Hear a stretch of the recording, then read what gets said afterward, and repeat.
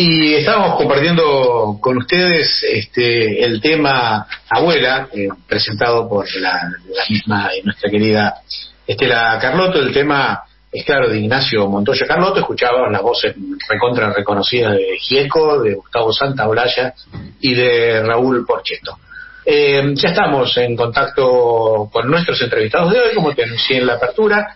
Ya están con nosotros Daniela Lucarov y Paula García, integrantes del archivo biográfico familiar de Abuelas de Plaza de Mayo, y estamos también en contacto con Guillermo Amarilla Molfino, nieto restituido, el nieto, restituido número 98, hijo de Marcela Molfino y Guillermo Amarilla. Con ellos vamos a estar charlando sobre esto que te decía al principio, eh, que para nosotros mala nuestra, eh, ha sido un descubrimiento de, esta tarea extraordinaria que hace en el, en el archivo eh, biográfico familiar de Abuelas de Plaza de Mayo, una tarea de recuperación de una visión integral de la, de la memoria integral, de la vida integral de aquellos que han sido desaparecidos por la dictadura militar del 76 al 83. Así que eh, estamos con ellos, los saludamos, le damos la bienvenida y le preguntamos a, Daniela, que hace muchísimos años que trabaja en esa maravilla este, del archivo, em, ¿cómo, nació este archivo que tiene 22, casi 24 años, y que ya está muy, muy casi desde el principio, y cómo ha ido evolucionando y cómo llegó a, involucrarse de esta manera en el archivo biográfico familiar de abuelas? Hola, buen día. Bueno, gracias por invitarnos. Este, bueno, eh, el archivo surge en el año 98. Eh, es una iniciativa de abuelas eh, para preservar los relatos de las familias, los amigos, los compañeros que reconstruyen estas historias de vida, garantizar que puedan llegar a, destino en el momento en el momento que, suceda el reencuentro y el encuentro y la restitución de la identidad de cada uno de los nietos y las nietas buscados.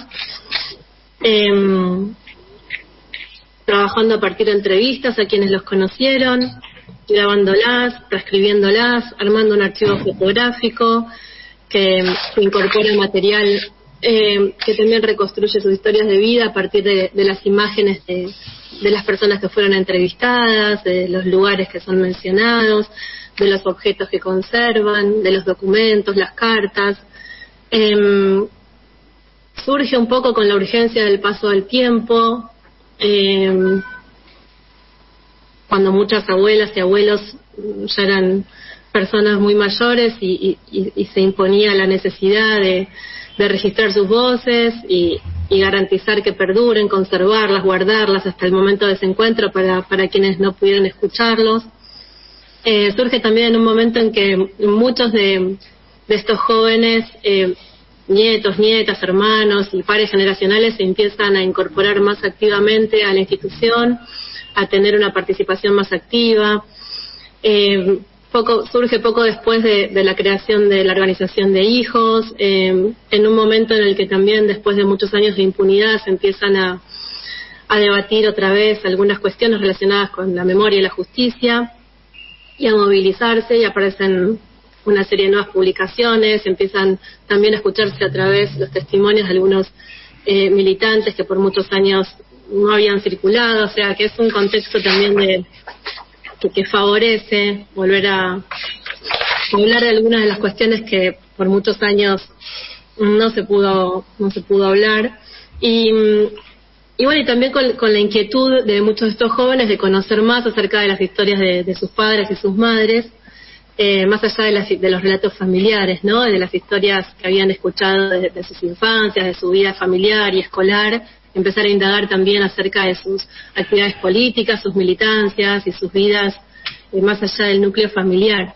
Así que bueno, con la iniciativa de algunos de los jóvenes de la institución y el apoyo del secretario de abuelas, Abel, y, em, y la urgencia de registrar estas voces de las personas más mayores, eh, surge esta idea eh, en, el marco también de un convenio con la Universidad de Ciencias Sociales.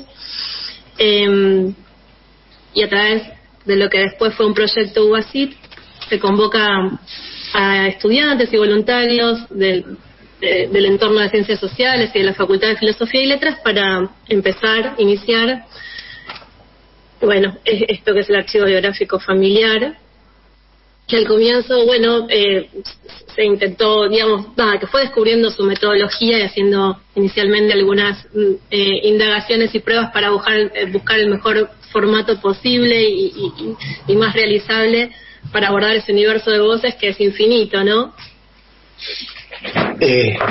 sí, sí, es una tarea verdaderamente, ya decía antes, extraordinaria. Paula, ¿qué hacen con ese material? Sé que todo eso se junta, se formatea, se pone en una caja, este, todo, ese trabajo que hacen de recopilación, de entrevistas, de transcripciones, de fotos. ¿Cuál es el, procedimiento que utiliza el archivo para, para que cumplan por lo menos su función primaria? Que es este de llegar a sus destinatarios? Bueno, la realidad es que va dependiendo de cada caso, pero en general eh, lo que hacemos para trabajar un archivo es partir de un primer contacto, quien sea, en general suelen ser familiares, pero en algunos casos no se puede. Eh, nos acercamos, hacemos una primera entrevista, a partir de ese contacto vemos si podemos generar otros contactos y ahí va creciendo la red y vamos entrevistando.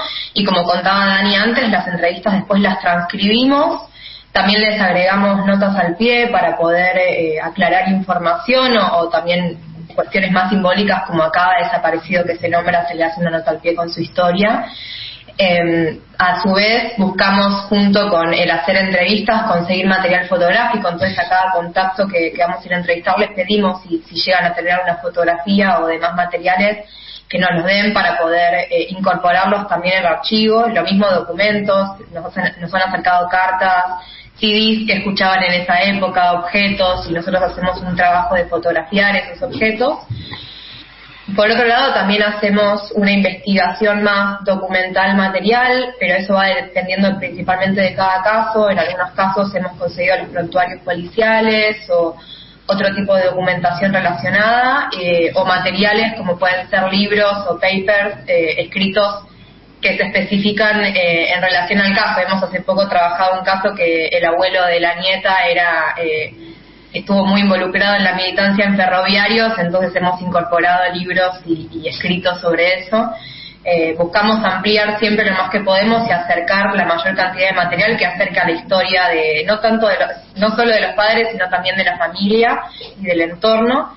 Eh, y bueno, lo que hacemos es esas transcripciones más las fotografías, eh, las imprimimos, armamos un libro, también vamos incorporando lo que es el árbol genealógico, que lo vamos armando a medida que también vamos teniendo, vamos preguntándole a los contactos que, que entrevistamos para poder armar ese árbol genealógico lo más extenso que podamos y lo imprimimos y armamos un libro bueno, con una carta de presentación donde están todas estas eh, entrevistas, más diversos materiales.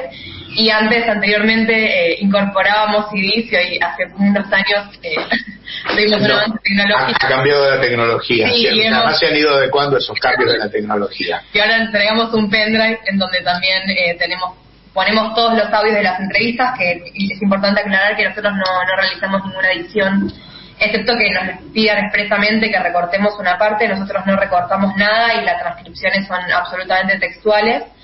Em, entonces, todo ese material lo, lo, juntamos y lo ponemos en una caja y se entrega en un hermoso evento en donde las abuelas le entregan esa caja al nieto. En los casos, por supuesto, en los que el nieto ya está restituido. Después hay un montón de otros casos que vamos laburando, pero que todavía no tuvimos la oportunidad de que, de que ese nieto o nieta haya sido encontrado. Eh, permitime preguntarle, Merlo y eh, Paula, tienen, también tenemos muchísimas preguntas, pero a, Guillermo este, Amarilla Golfino, ¿cómo te tocó este mundo? ¿Cómo, cómo te llegó a vos este mundo de, del trabajo que hace el archivo familiar, en, tu caso particular? ¿Cómo lo ves del otro lado? En mi caso, llegó eh, un poquito, unos dos años después a que yo he sido restituido por las abuelas mi archivo, porque dada mi historia eh, era lógico que no, que no iba a estar previamente, no me iba a encontrar con un archivo armado, porque eh, no me estaban buscando. La historia, de, mi restitución, de mi familia, eh, tiene que ver con este con ese descubrimiento que se dio eh, después de yo haber presentado mi denuncia. O sea, perdón, tú, para, para nuestros oyentes, tu, mamá tenía un embarazo muy reciente cuando fue secuestrada. Sí, sí, sí. Que no estaba registrado, digamos. Exacto, exacto, no había ninguna denuncia, entonces, bueno, eh, eh, se pudo resolver simplemente por el testimonio de Silvia Torchinski, sobreviviente del campo de Mastro,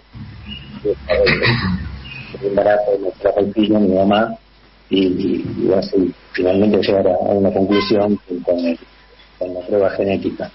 Bien, este, cuando me llegó, tuve la, fortuna de, de, encontrarme con, una familia muy numerosa, eh, entonces eso significó eh, un archivo muy cargado de mucho material, eh, relatos de, familia paterna, familia materna, las dos muy numerosas, por el correr del tiempo muchos de, esos tíos, tías se fueron, ya no están.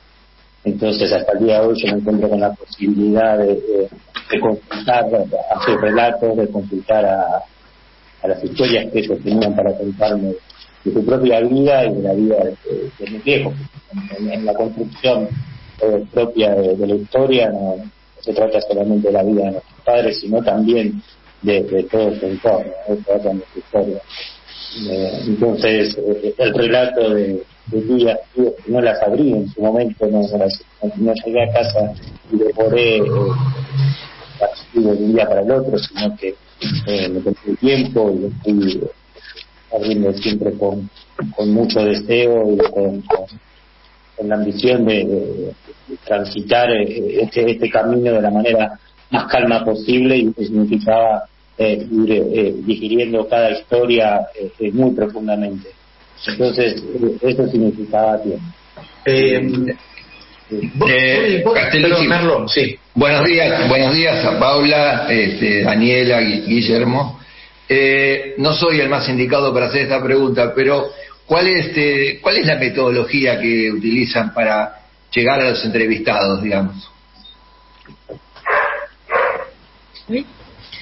En un comienzo, em, el primer contacto con las familias que se tenía era a través de quienes habían acercado la denuncia, entonces era como el primer vínculo con la familia, ¿no es cierto? Pero en aquel momento, 98, 99, 2000, 2001, todavía eh, eh, la comunicación con las familias debía hacerse con mucha delicadeza porque no era sencillo tener siempre una buena recepción, así que se hizo de una manera muy personalizada a través de de una compañera que, forma parte de la institución y que, está buscando a su hermano o hermana, em, en un, con un, llamado como muy personalizado, una visita a cada una de las familias. Es una compañera que un poquito después pudo viajar por todo el país visitando cada casa, acercando material de abuelas y contando personalmente en detalle de qué se trataba esto que estábamos iniciando. Y a partir de, siempre es a partir de, una primera, de un primer encuentro que se puede indagar en otras posibilidades, otro familiar, otro amigo, conocido. A lo mejor la familia puede ampliar un poquito al entorno de mm, los compañeros de escuela, los amigos del barrio, y allí puede a lo mejor surgir el amigo más relacionado con la adolescencia y la juventud, empezar al ámbito de la militancia, y bueno, siempre hay un trabajo de ir pudiendo indagar a partir de quienes vamos encontrando eh, pero bueno, también hubo casos y, nos pasa que a veces nos cuesta muchísimo poder avanzar. Eh, nos faltan muchas personas, entonces también muchas veces nos cuenta, nos cuesta encontrar alguna voz que pueda replicar alguna de las instancias de sus vidas, ¿no? Porque las entrevistas eh, van abordando momentos, contextos, fragmentos y en suma van conformando ese archivo que, se conforma de todas esas voces que son múltiples, que son contradictorias, que van que se van superponiendo y sumando para reconstruir un poquito esa historia, pero em, eh, a lo mejor el relato y lo que reconstruye la voz de un, compañero universitario, un compañero de trabajo, un compañero de militancia, cuenta y nos muestra un, un, lado de esa personalidad y esa historia de vida que es completamente distinto al del primo de la infancia, el, compañero de juegos del barrio, ¿no? Entonces, un poco la intención del archivo es tratar de abordar un poquito de cada una de esas voces, aunque sea ir arrimando, sabiendo que, bueno, es un trabajo infinito, que es, es imposible esa reconstrucción, es un intento y se propone ser una ayuda, una herramienta de, de, acercamiento a la historia para el trabajo que después hará de reconstrucción cada, cada persona que recupera, que recupera su identidad, ¿no?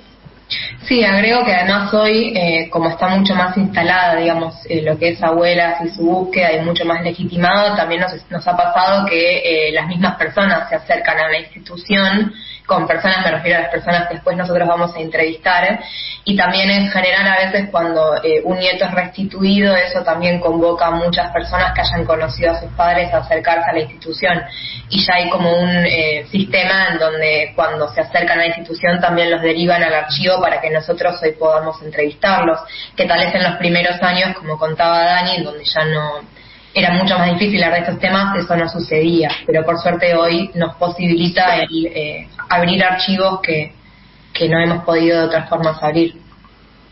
Eh, tenemos que hacer una, una pausita eh, breve ahora. Eh, quiero preguntarle muy cortito a, Guillermo. Eh, vos tenías hermanos, o sea, el, más chico de un grupo de hermanos. ¿Los conocías? ¿Los conociste después? ¿Ellos participaron también de ese redescubrimiento este, de, tus papás?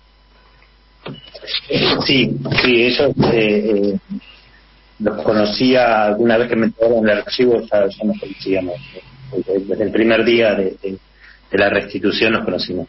Eh, sí, participaron, ellos están en grabaciones, están en sus relatos, y también es, muy importante. Afortunadamente lo, nos vemos, nos seguimos encontrando, y los relatos pueden ser cotidianos, así, pero igualmente eh, hay una suerte de, transmisión eh, eh, como un abrazo también lo que lo que pasa en el eh, en el archivo más allá de los datos de los datos anecdóticos las historias también va dirigido a, al nieto en este caso a mí los relatos que, encontré están todos dirigidos a una persona nueva en la familia entonces ahí uno también encuentra su COVID bueno, vamos a hacer la pausa. Estamos hablando con Paula García y con Daniela Drugarov del Archivo Biográfico Familiar de Abuela de Plaza de Mayo, con Guillermo Amarilla Molfino, que es un nieto restituido, que es parte del otro lado del mostrador de esta historia, de esas figuras que son tan dolorosas en nuestra historia, el desaparecido. ¿no? El desaparecido no es una foto antigua,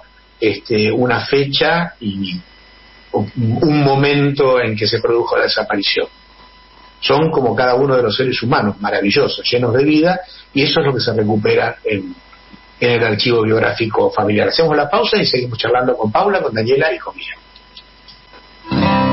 De chico supe que no era hijo biológico de quienes me criaron. Durante años no hice nada con eso. Ya de grande, Vanina, mi compañera, me dijo que podía ser hijo de desaparecidos. Pero algo me frenaba. La culpa, el miedo, Luego nacieron mis hijas y pensé que no podía dejarles algo como esto sin resolver. Y me animé a dar el paso. Anímate a dar el paso. Si naciste entre 1975 y 1980 y dudas de tu identidad o sabes de alguien que puede ser hija o hijo de desaparecidos, comunícate con abuelas de Plaza de Mayo o con sus redes en las provincias. Y escuchamos aquí en No Mires para otro lado como desde hace tantos años, tantos años. Yo no, recuerdo cuánto hace que cada lunes o cada día que, que hacíamos el programa pasamos el spot de Abuela de Plaza de Mayo. ¿Qué significado tiene hoy? ¿no? Que, que, tan distinto a las tantas veces. Llevamos una cantidad de programas, ¿no? Este estaba mirando 696. Debe ser más de 500 programas que pasamos el spot, este, los distintos spots de, abuelas. Y hoy, hoy ¿qué, qué diferencia tiene? ¿no? Este, que estamos hablando justamente del archivo biográfico familiar de Abuelas de Plaza de Mayo, que estamos charlando con eh, Daniela Drukarov, con Paula García y con Guillermo Amarilla Bolfino. Vamos a seguir este, charlando con ellos, pero verlo dos cosas. Por un lado, eh, lo que dice nuestro spot, animate a dar el paso. Sí, y nunca, hoy más que nunca, si tenés duda de tu identidad, si pensás que alguien puede ser hijo desaparecido, contactate con ellas y después compartimos también los mensajes. Cómo no, comunicate al 11 15 40 31 0920 o manda un mail a dudas Te decimos que, como decía Caterita al principio, a las 20 horas se repite el programa y también armamos un podcast, así que te metes en Spotify en un par de días y vas a tener el programa. Eh, bueno, sí, tenemos varios, voy a tratar de ser sintético. En principio es uno, este, en lo personal, muy fuerte, dice, un saludo enorme a los conductores No Mires para otro lado, los dos Oscares, y un saludo a los integrantes del archivo bibliográfico por tan encomiable trabajo. Yo soy Víctor de, Juan José Paso, hermano de Roberto Mono Suárez y mi cuñada Marta Pacha Veiga, que eh, parió en cautiverio, que esperamos ansiosamente un sobrino. Eh, abrazo enorme para todos. El tema de mi situación personal con esto es que yo fui uno de los eh, testimonios, de los tantos que debe haber, eh, tuve una entrevista acá con el equipo del archivo y bueno, y acá este, el hermano del mono está haciendo un reconocimiento a este trabajo.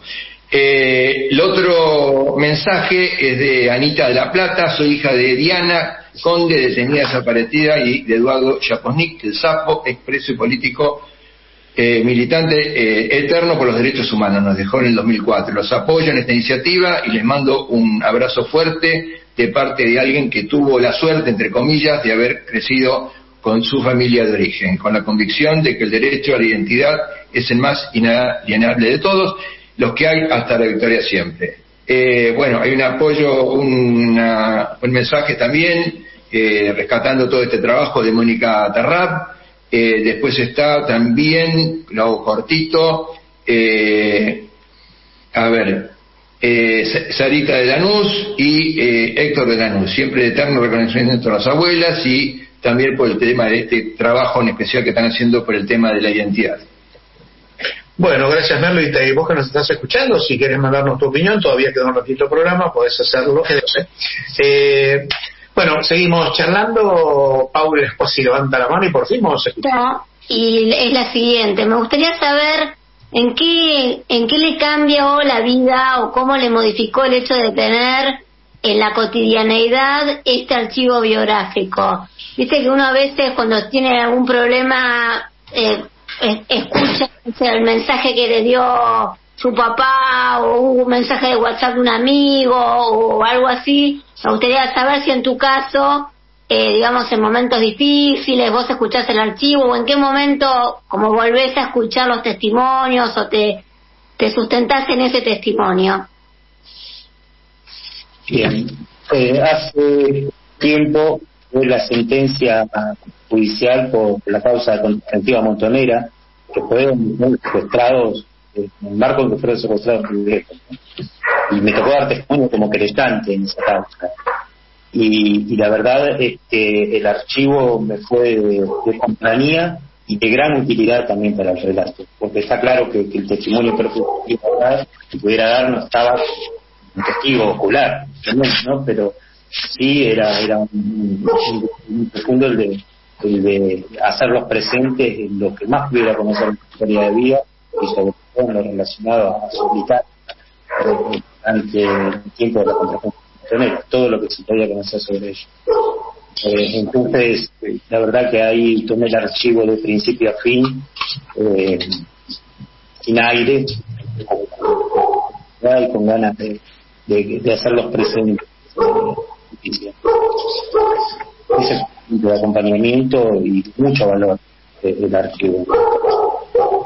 Eh, Daniela, estamos conectados nosotros remotamente en el día de hoy, pero Daniela además está ahora, creo, en, en línea por, por teléfono. Eh, le pregunto a Daniela, estuve leyendo algún trabajo sobre el tema del funcionamiento del archivo y cómo fue cambiando a lo largo de estos 20 años el, modo de trabajo, la perspectiva. Y me llamó mucho la atención, y me gustaría una reflexión tuya sobre esto, de cómo eh, el, 2002, 2003, con la aparición del kirchnerismo, genera un cambio en el contenido de los trabajos que ustedes van haciendo. Cómo reaparece el tema político, el tema de la militancia, que antes era como nos decía Paula, bueno, había como limitaciones para hablar en otra época, temores, ¿no? Y cómo el contexto influye además en la mirada de, la, de, la, de las historias que ustedes recuperan. Sí, sí, sí. Este, es muy notorio si, si, si escuchar los relatos que corresponden a cada uno de los contextos y los distintos momentos a lo largo de estos más de 20 años, eh, el modo de abordar los temas, la posibilidad de mencionar algunas cosas, eh, la posibilidad de hacer determinadas preguntas de una manera más, directa, más explícita o con más, con más cuidado, de manera más genérica. El miedo sigue, digamos, estando muy presente en muchos de los relatos y sobre todo cuando te alejas de las grandes ciudades, donde las personas son más anónimas y donde y donde hubo más instancias de contención, de articulación con otras personas o de insertarse en alguna forma de organización de problemáticas similares. Entonces, eh, muchas veces en, los pueblos más pequeños y nos encontramos con personas hablando en voz baja o cuidándose de, no ser escuchadas o esto que nos parecía que tal vez correspondía más a, a, fines de los 90, principios de los 2000, eh, nos, sigue pasando. Hace poquito, hace un par de semanas, estuvimos en un, en un pueblo de la provincia de Buenos Aires y, la persona que entrevistamos nos decía, nadie te va a querer hablar, soy la única que te va a contar sobre ellos. Em, porque en este pueblo que es muy conservador no, podemos todavía hablar de esto. Eh, eso creo que sigue sucediendo y a lo mejor lo perdemos un poco de vista cuando vivimos en ciudades más grandes.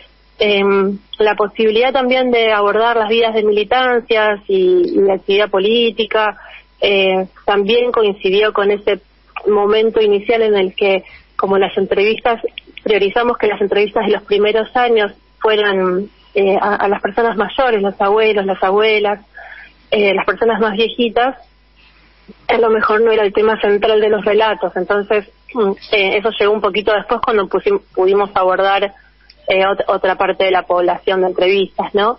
Em, y también, eh, por un lado, por me parece que, existía este temor a, poder hablar y la forma y el dolor, digamos, también, ¿no es cierto? Em, pero por otro lado, eh, también había una necesidad de poder eh, reconstruir las vidas de estas personas que no eran secuestrados, desaparecidos, una foto en blanco y negro 4x4 quieta, sino que también podamos recuperar, como hubo en un inicio esa urgencia y esa necesidad de recuperar, eh, recuperarlos en movimiento y a través de las cosas que nos hacen humanos, eh, para después poder ir de a poquito en esa reconstrucción insertándolos en su contexto sociopolítico, ¿no? Pero primero saber saber más quiénes eran, qué les gustaba, a qué cosas les tenían miedo, eh, de qué cosas disfrutaban, mm, cómo eran cuando se enojaban, ¿no? Como hubo primero también una necesidad de poner eso en primer plano. Sí, Daniela, eh, Oscar Merlo te habla. Eh, vos sabés que obviamente eh, digamos, todo lo que estás contando a mí me, me vuelve a, digamos, a la memoria todas aquellas, que fueron creo que casi tres horas que estuvimos hablando, y lo interesante de la búsqueda de ustedes es que iban cachito por cachito y, les, y realmente les servía todo. Eso es lo que me pareció extraordinario, porque yo le decía, estoy hablando de, al final estoy hablando de mí, lo decía, estoy hablando de mí. Y ustedes me dijeron, no, pero justamente es parte de la, de la cuestión. Si vos, si vos compartiste eh, tantos momentos con esa persona, también tenés que estar hablando de tus cosas, porque eran cosas que se compartían. Pero es notable como, bueno, con, con mucha, mucha este, una buena metodología, se puede ir sacando cositas que uno, uno tiene una edad ya, ¿no? Que hay cosas que se van perdiendo en el tiempo. Pero cómo vas eh, este, trayendo cositas que por ahí, eh, juntándolas, hacen a un, a un todo, ¿no? Sí, ahí mencionas dos cosas que nos resultan muy importantes. Por un lado, que eh, vos le estabas dirigiendo tu relato al hijo o la hija de, esos amigos que tuviste y con los que compartiste todo eso que pudiste relatar y, entonces que te conozca eh, quién sos vos, quién era el amigo de su papá, de su mamá, el compañero de la militancia, etcétera, em, eh, es en sí mismo fundamental también y por otro lado, que mm, eh, es muy importante también, antes de, registrar un relato, una entrevista, eh, transmitir esto que vos mencionás, de, la importancia que tiene todo eso que se puede aportar, eh, porque muchas veces para quien habla eh, está esa, esta sensación de que eh, lo que importa son los datos importantes, los datos duros, los datos que hacen a la investigación, ¿no? y bueno, Eh, por supuesto que esos datos aparecen en las entrevistas y después siguen, siguen su curso hacia las áreas de investigación, eh, pero lo que la entrevista se propone y lo que está buscando es, es reconstruir sus historias de vida. Eh, Paula, eh, surgía lo, en lo que además que pudimos leer, que cuando apareció esta iniciativa también había una preocupación de, digamos, independientemente de que, digamos, nosotros creemos que las abuelas y las madres sean eternas, eh, bueno, la, vida se, cumple con su ciclo, digamos, y esto, este, bueno, hay una necesidad de seguir eh, incorporando actores, digamos, para que mantenga la memoria. Y de alguna manera esto también incentivó para que apreciaran otros actores en la, en el, bueno, en la reconstrucción, que va a ser permanente, como decían hoy, ¿no? Eh, ¿Cuál es tu comentario sobre esto? Eh, no sé si entendí muy bien la pregunta, pero vamos a ver si, si sirve lo que digo. Eh, no, me parece interesante primero lo que decía Dani al principio de cómo surge la iniciativa, que tiene que ver también con un momento en el que se empiezan a incluir eh, en, los 90, donde los nietos y nietas ya no eran niños, sino que eran jóvenes y que también eso impactó mucho en abuelas, en, en un montón de estrategias en donde ya no se buscaban bebés, se buscaban también jóvenes y que eso implicó la incorporación de la mirada de los propios jóvenes y ahí es donde se pasa a en términos de difusión a buscar eh, que los propios jóvenes acerquen a la institución. Y en la inclusión de las mismas preguntas y las mismas inquietudes es que eh, de, los, de los propios nietos y nietas es que se crea este archivo también, ¿no? Con lo que decíamos antes. Y en ese sentido, eh, Abuela siempre se construyó y, y lo que las abuelas supieron hacer siempre fue incorporar perspectivas múltiples y convocar a la gente para que pueda ayudarlas y pensar estrategias. Eh, y después en lo que refiere más a lo biológico, bueno, originalmente se, se buscó esto de empezar por los abuelos, porque se entiende que son también los motores de búsqueda, o lo, como diría la psicóloga, el, el origen del deseo, digamos, de, esa familia que, es deseante y que está buscando a ese nieto o nieta. Pero también la realidad es que hoy, hoy aprovecho y comento que hoy estamos enfrentando como una misma situación en el archivo, luego de 20 años, pero con el resto de la totalidad de entrevistados, en donde ya es más de una vez que nos ha pasado de llamar y querer contactar a alguien para entrevistarlo y que nos digan falleció hace un año o está muy enfermo o no se puede. Entonces, lo que originalmente en los 90 nos pasó con la generación de los abuelos, hoy nos está pasando un poco con la generación de casi todos los que conocieron a esos padres. Entonces, si bien el archivo hoy es tiene un acervo enorme, donde más de 2.200 entrevistas, que es eh, uno de los archivos más grandes eh, orales en Latinoamérica al menos. Eh, nos queda mucho por hacer. Eh, son muchos los casos, son muchas las personas que entrevistamos. Pensen que tenemos un promedio de ponele entre 10 y 15 entrevistas por caso, eh, con esta idea de querer reconstruir con múltiples voces varias de las etapas de vida de cada persona.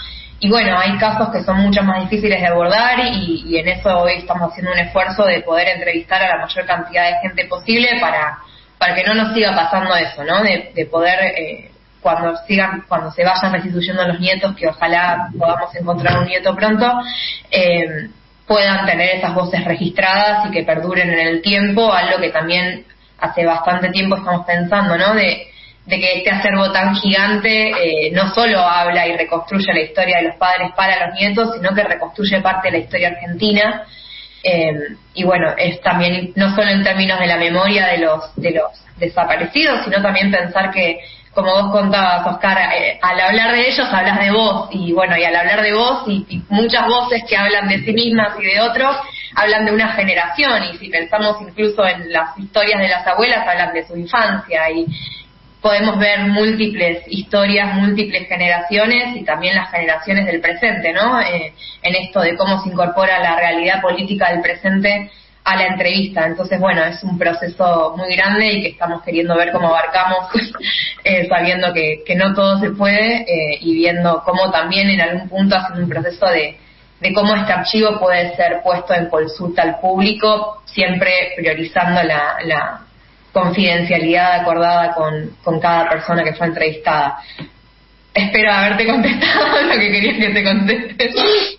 Sí, antes de hacerle una, una pregunta este, a Guillermo, ya estamos medio sobre, sobre el cierre. Ustedes están funcionando en este momento en la exesma, digamos, físicamente. Este debate que, que supongo tendrán internamente, tendrán internamente ustedes con las abuelas, de abrir ese archivo, porque ustedes han trascendido, como decías vos, al individuo, a la persona y hablan de una generación. Hay una cantidad de material valiosísima, inhallable en, cualquier otro lugar. Hay un debate en cuanto a la posibilidad, con todo el respeto, como decías vos, este, por, por, por cada uno de esos individuos, de que este archivo pueda ser de acceso a quienes están reconstruyendo con sus trabajos la época. La realidad es que es un debate que atravesó la historia de todo el archivo biográfico y a lo largo de toda su historia se fueron buscando distintas estrategias porque hay algo muy importante que es que en un contexto en los 90, ¿no? en los contextos del inicio, una de las formas en que lográbamos que en que se lograba que la persona de testimonio es priorizando el acuerdo de confidencialidad, porque como vos dijiste al principio, lo primero que queremos con este archivo es poder darle esta herramienta al nieto. Lo demás viene después y es aledaño. Entonces, siempre vamos a priorizar eso, nunca vamos a, tomar una entrevista que nos. va a dejar de tomar una entrevista que nos dice no quiero que sea completamente confidencial, porque lo primero está siempre el nieto. Pero hoy estamos, eh, hace un par de años, en contacto con el Archivo Nacional de la Memoria y el Archivo General de la Nación y aportando herramientas de la archivística y pudiendo aportar herramientas legales estamos hace un par de años incorporando eh, la posibilidad de que en los casos en los que hacemos una entrevista, si esa persona está de acuerdo que además esa entrevista se ha incorporado al acervo de abuelas y pueda ser puesto a disposición de la asociación, eh, y en ese sentido también puesto a disposición ah, de consulta pública según lo decida la asociación, si está de acuerdo esa persona se firma una autorización. Si no está de acuerdo, se deja sentado en el archivo que esa persona decidió que sea completamente confidencial y eso es lo que hoy estamos logrando eh, conformar. También la idea es un poco eh, que tiene su implica su trabajo, pero llamar hacia el pasado, digamos, personas que fueron entrevistados años antes para consultar sobre esta posibilidad. Pero en principio lo que hicimos fue incorporar que las entrevistas que hacemos hoy hacemos esa pregunta y, bueno, la verdad que nos estamos encontrando que muchísima gente está de acuerdo y, estuvimos pudiendo incorporar varias entrevistas en, ese sentido. Eh, pero siempre vamos a priorizar que, las que estas voces lleguen a los nietos y, y lo demás es completamente aledaño. Bueno, vamos arrimando al final del programa. Yo quería hacer una pregunta puntual. Yo les comentaba antes, eh, aquí en No Mires para otro lado, pasamos cada programa el spot de Abuela de Plaza de Mayo, creo que del 2014, vamos actualizando. Tenía que actualizar uno nuevo, este, y creo que este es del 2019, venimos pasando el, el, el actual. Y siempre, digamos, el el acompañamiento al pedido es esto de animarte a dar el paso. Lo tenemos a Guillermo Amarilla Molfino. Yo no me voy a perder la oportunidad de preguntarle cómo se animó a dar el paso. Que nos cuente y que comparta con nuestros oyentes porque su historia es muy muy particular, como te dijimos. Él nació en cautiverio, en el centro clandestino del Campo de Mayo. Este, su mamá, este, Marcela, cuando fue secuestrada, tenía solo un mes de embarazo ¿Cómo, cómo fue tu vida en, de alguien que se animó a dar el paso, para que otro se anime además? Y no, no sé cómo, cómo, cómo eh, eh las razones. Eh, no hay razones a veces, ¿eh? ¿Cómo? No hay razones a veces. El corazón tiene razones. La respuesta sincera sería que realmente no, no encuentro las razones y, el cómo tampoco, lo que sí es que hubo una un desvelo permanente por, querer saber mis orígenes y, creo que había diferentes situaciones desde la vida, la primera infancia hasta que me acerqué que llevaban a pensar que no estaba en mi familia, estaba en mi lugar. Eh, y tuvo que ver con el trabajo de difusión de abuelas en cuanto a que nos acerquemos nosotros con nuestras propias vidas. En caso particular, eh, se trató de un capítulo de televisión por la identidad, eh, fue la gota que rebalsó el vaso. Yo miré un capítulo de televisión por, la identidad, puntualmente el caso de, Juan Cabandier, eh, y me sentí muy conmovido. Yo ese, ese capítulo lo vi en el año 2007 y al día siguiente, a los dos días de haber visto el capítulo ya no podía más y, me acerqué a las abuelas con mucha inquietud. Es, desde años anteriores ya, venía con, mis dudas, pero bueno, fue la gota que rebalsó el vaso y no sé si todo el mundo va a tener la gota que rebalsa el vaso, esa inquietud, que ese nudo que, se desata en algún momento, o, hay un, antes y un después de una circunstancia específica, eso tampoco lo sé. Eh, me parece que muchas veces tiene que ver también con, con, el animarse de los terceros, o de dar el empujón, en aquel momento tuve, una persona al lado mío que, que me empujó a que vaya a hacerlo, quizás si estaba solo no lo hacía, eh, entonces eh, eh, el entorno, las, las personas que, que pueden rodear a, quien tiene esas dudas son muy importantes también.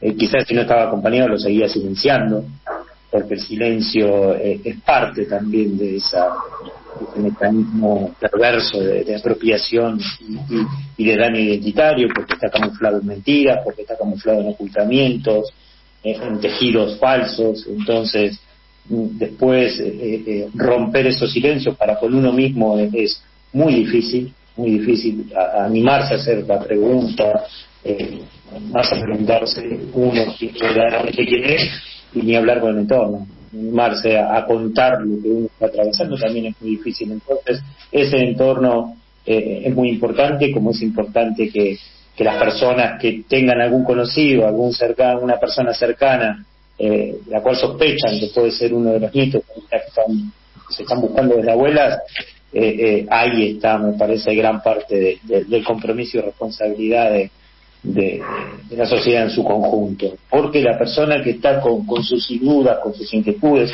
con sus miedos, silencios, es posible que tenga ese desvelo de por vida y que nunca se anime a dar paso. También está esa posibilidad.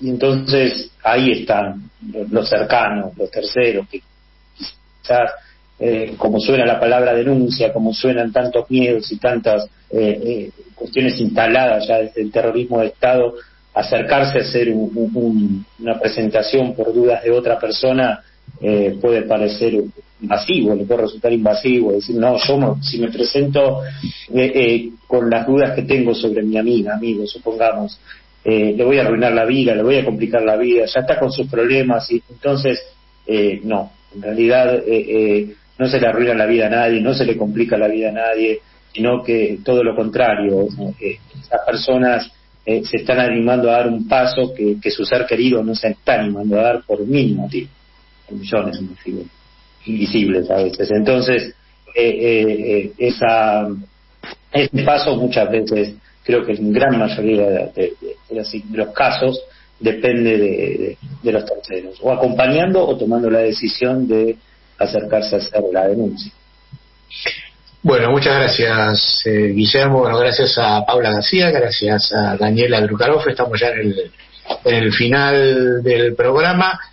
Eh, las abuelas se constituyeron allá lejos en el tiempo, allá por 1977 si no tengo mal el dato, han conseguido la restitución de 130 nietos. No sé si se ha modificado, creo que no, desde el 2019. Hay estimas más o menos 500, faltan más de 400. Animate a dar el paso. Este, como decimos siempre, y para cerrar, además del agradecimiento, reitero a Paula, Guillermo, a Daniela, para decirle a Daniela si se quieren contactar con ustedes, con el archivo, conocer el laburo que están haciendo, cómo, cómo pueden hacerlo y con esto cerramos el programa. Eh, a través del mail eh, es una posibilidad que es archivo arroba o a cualquier mail, todos los mails están en la página de abuelas. Cualquier información que quieran saber sobre abuelas, la página de abuelas siempre es la fuente. Bueno, muchísimas gracias a todos, a vos por estar del otro lado y siempre hay, posibilidad de animarse. Me parece que el testimonio con el que cerró Guillermo no requiere no requiere más más cierre del programa que eso. Nuestro reconocimiento y a través de Merlo y del hermano ahora que nos está escuchando, la memoria de, Ricardo Suárez, que de algún modo fue un poco el origen de que hiciéramos este programa hoy. Gracias por estar del otro lado. Volvernos a escuchar si querés de 20 a 21 y si no el lunes que viene en otra emisión de No Mires para otro lado. Chau, chau.